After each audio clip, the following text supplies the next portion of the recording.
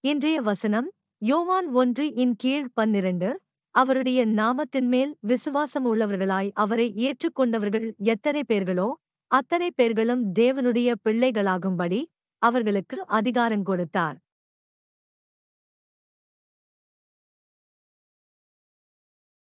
Today's verse, John 1:12, But as many as received him, to them gave he power to become the sons of God, even to them that believe on his name.